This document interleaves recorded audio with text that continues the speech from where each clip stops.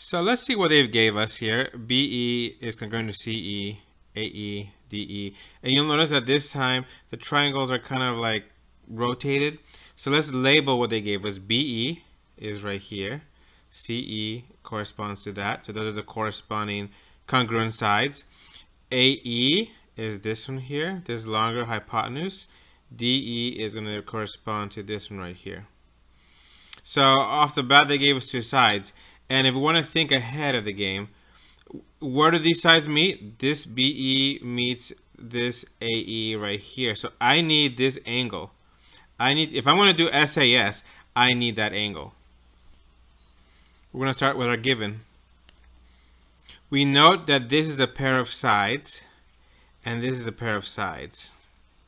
So we need the included angle. Well, nothing was given to us. However, notice that these are vertical angles. And we know that vertical angles are congruent.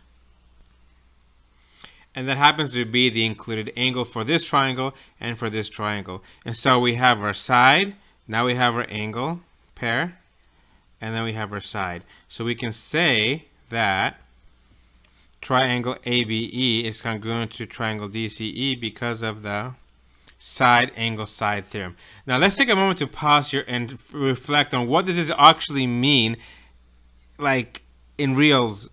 So what the SAS is allowing us to do is the following. First, recognize that every triangle has one, two, three sides and one, two, three angles. So every triangle has six parts to it what we're saying is the following. If you give me three parts aside, the angle between the other side, then I can tell you the triangles are identical. So that's almost like saying, okay, I see two people, they have the same eyes, they have the same arms, and they have the same nose. And because I know those three things, I can say they're identical twins and everything else is about the, about them is the same. That that's what we're saying with the SAS theorem. Okay, so I don't need to see the legs. I don't need to see the toes. I don't need to see anything else. If if I if I'm making the claim that if I see those three body parts, then I'm going to claim the rest of the the rest of them is completely the same and congruent. That's what we're saying with SAS. Show me a side and another side and the angle between the two sides, and therefore the entire triangle is going to be congruent to the other entire triangle.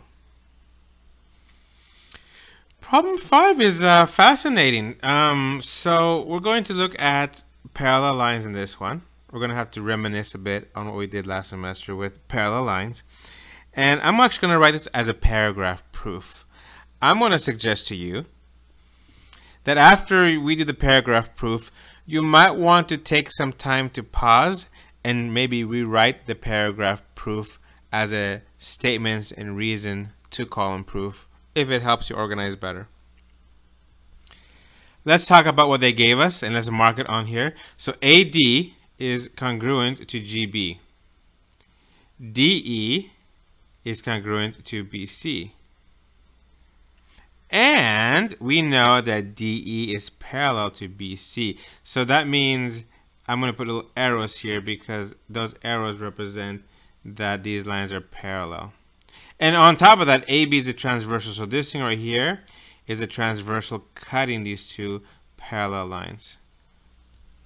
Well, to help you visualize better, I'm going to go ahead and extend these lines.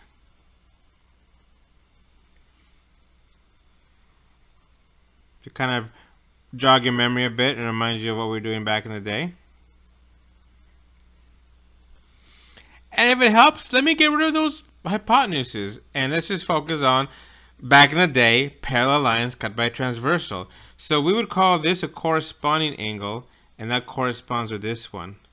And we did a Desmos simulation on this, so check it out if you need to again. But we know that corresponding angles are congruent. If we bring back our triangles, you see that, oh snap, they gave us the included angle. Well, they didn't give it to us. They gave it to us by giving us this hint. So they kind of gave it to us. They said, hint, these are parallel. Okay, so that's great. If they're if that's the case, then these are corresponding angles and they're congruent. By the way, if you're given parallel lines by cut by transversal, recall that we could also use alternate interior angles are congruent and alternate exterior angles are congruent. So those will be very useful in future proofs that you might see. Okay, so let me write down the paragraph proof and then we'll chat about it. Okay, welcome to English class. It's given that AD and the AD is congruent to GB, DE is congruent to BC. So that's a side and that's a side. So the whole purpose of this proof was to really find uh, the included angle to prove that. We ended up doing that by uh, finding the use of this given statement that DE is parallel to BC. So when we went ahead and drew those, right, and we drew that transversal further out, we were able to recognize that these were corresponding angles that fit in that spot. And we know from before that corresponding angles that are formed by parallel lines are congruent. And so we were able to prove that angle D is congruent to angle B. That gave us our angles, right? So here, here was our, our side, here was our side, and then we were able to prove our angles congruent. And it happened to be the included angle, which is important. So then by the side angle side theorem, we were able to prove that those triangles are congruent themselves. Well, this is lovely, and you can kind of tell when a proof's going to be a bit more quote-unquote difficult when you see less and less congruent things. So if you look back at problem three, they gave us three congruent things. Easy proof. You look at four, they gave us only two, so there wasn't a little step to do. And problem five that we just did only had two congruencies, so we had to pull off a third one somehow. This one in problem six, they only gave us one congruency. IF is congruent to JF. So that is a pair of sides, but what we're left doing now is we have to find another pair of sides and once we do that we have to find the included angle. And we don't just get to pick what looks convenient we have to prove why we get to pick what we pick. So we're going to start off with our given. But what does this thing bisect? What is what does it mean to bisect? So we, we talked about line bisectors right those are midpoints most of the time so if, we, if we're given a midpoint then I would know that midpoint would cut a line segment in half and it would form two congruent pieces.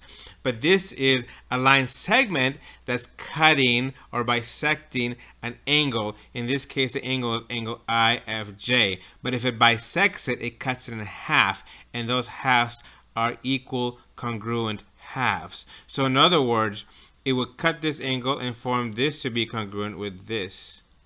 So that's angle IFH and JFH. So an angle bisector forms two congruent angles and we have this angle IFH. Notice the order again, right? If I'm going outside, top, down, IFH, then on this I'm going to go outside J, top, down. Follow the corresponding order. Follow that order. All right, next. Well, let's identify what we have so far. We have a pair of sides, great. We have an angle. Great. I need I need this side right here, this FH. Now this FH happens to be the same side for this triangle as it is for this triangle. And they happen to share the same length, the same side. This should remind you of problem 2, part A. Do you remember the reason for that? Here's our other missing side. That was a reflexive property.